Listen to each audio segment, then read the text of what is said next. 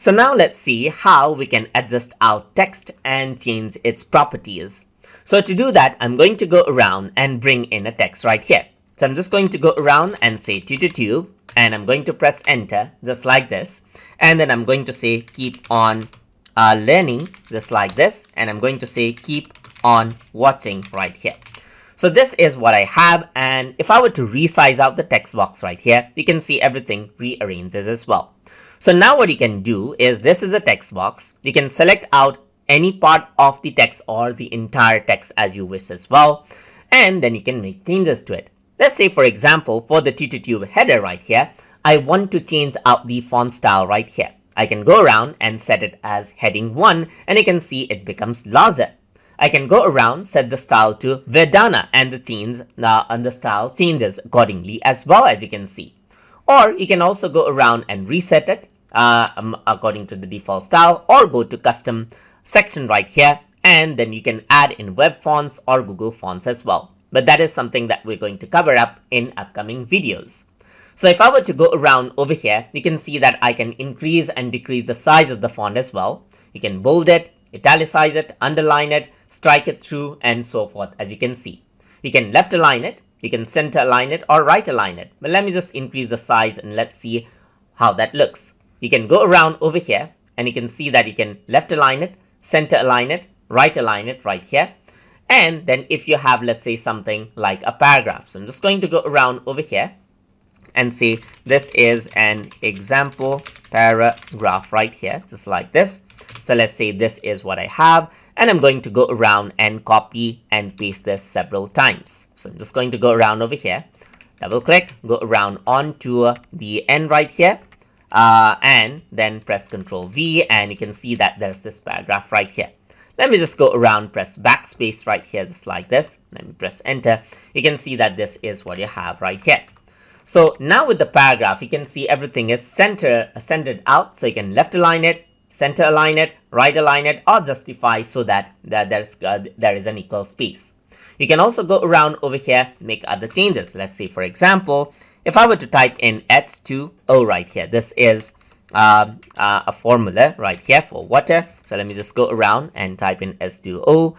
And to make sure that you see it much more clearly, let me just expand this out as well. And then for the H2O, so let me just select this and change the size of this uh, text as well. I can go around and type in 74 uh, right here just like this and you can see that it changes out the text size as well.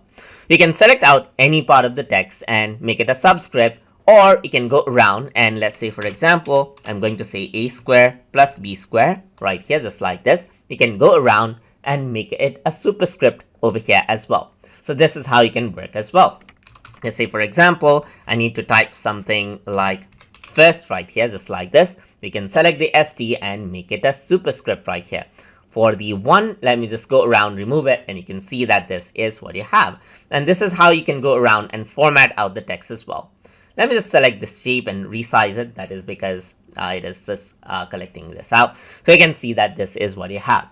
If you have to go around onto the text, you can also, let's say for example, I'm going to go around and type in some random points right here. You can turn all of these into, let's say, uh, a numbered list as well. You can also go around and you can type it in as you can see right here.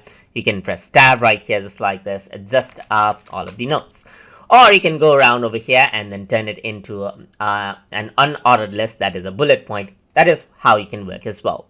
You can go around onto the top right here and then you can, let's say for example, uh, click on increase indent right here. So you can uh, like uh, uh, push the paragraph out or you can decrease the indent as well, just like this. Besides that, you can see that there's many different options that you can select, right? You can go around and then turn it right here. You can turn it everything into an HTML code as well if you want and so forth. Let me just go around and then select all of these uh, paragraph lines and then turn it into a paragraph right here. You can select out anything right here and change the font color as well. You can click choose the font color or manually choose out the font color like this. Or you can even enter the hexadecimal code if you know the hexadecimal code right here. And the font color changes. let me just go around, select this out right here, change this out, apply, and you can see only that font changes. For this one, let me just go around and keep it black itself. So let me select this text and keep it black right here. So uh, regarding this, let me just go around and change it to, let's say, red right here, just like this. Or you can select red from over here. And then you can also go around and select, let's say, I want the tutor to be black itself. So I'm just going to go around, select black, press apply, and then this is how you can create style. You can also work around with the background color as you can see right here. Choose around any color that you want. So let me just select something like this. Let me just select the text right here and then go around onto the background color, apply, and you can see that the background color gets applied over here on the selected text. So that is what you have as you can see just like this. Let me just go around over here, select out the text right here, and you can see that you can also work around with the line height right here. You can insert out hyperlinks, you can go around insert out images, you can insert out horizontal rule or table as well, but this is something that we're going to focus up in upcoming videos. So these are the ways in which how you can adjust out text inside of diagrams.net. So hope you guys learned something as always. And as always, please like, comment, share, and subscribe